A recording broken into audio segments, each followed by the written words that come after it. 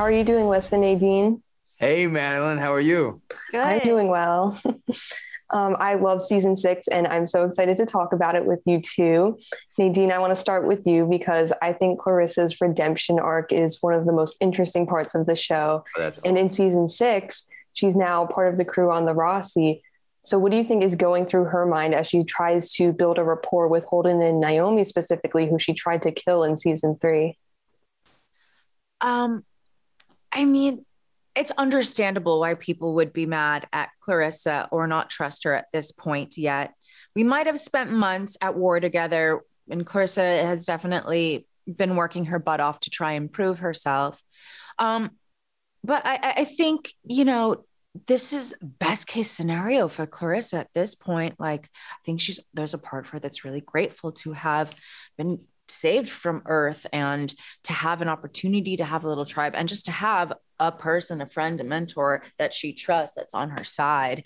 Um, I think, you know, the the desire to win a, a, family over to possibly belong to the Roci crew gives her a lot of hope.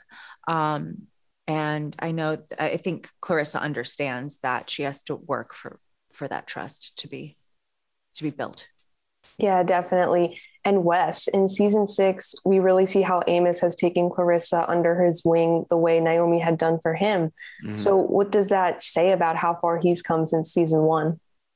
Well, it's definitely, uh, you know, it's definitely been a fascinating arc to work on with Amos and his journey throughout this whole season and how different he is in this in this season to where when we first met him and where he started in season one but I think he recognized how lost Clarissa is, the, how vulnerable she was, and that she's not an evil person. That she was, it's just a misguided love and loyalty to her father. That she's just trying to do what she thinks is the right thing, and so taking her under his wing and becoming her mentor is a big moment of growth for Amos and a completion to that that arc.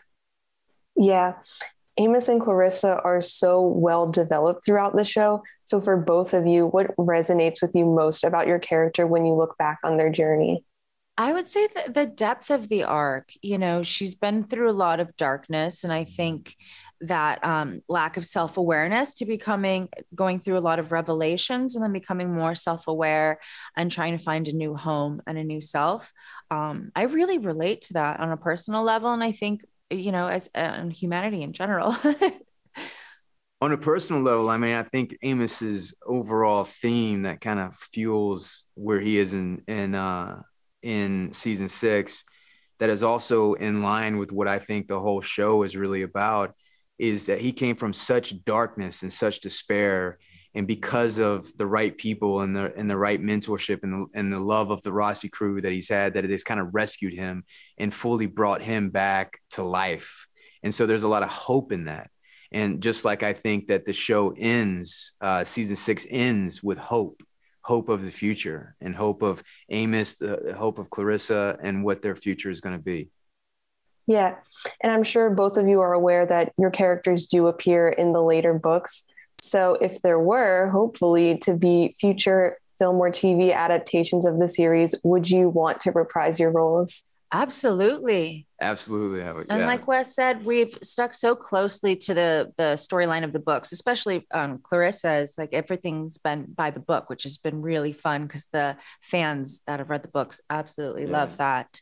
Um, I have an enormous amount of gratitude for everything that the Expanse has brought in my life, included the, the fans and this amazing, complex character. And I feel such an honor to be able to play this and to be able to bring it to its full completion, this whole story and these characters.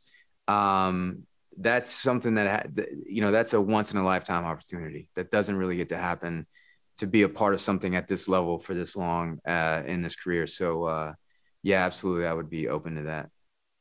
Well, congratulations to you both for all the work you've done on this show. It's been amazing to watch. I hope you guys enjoy the rest of your day. Oh, you too. Thank, Thank you. you.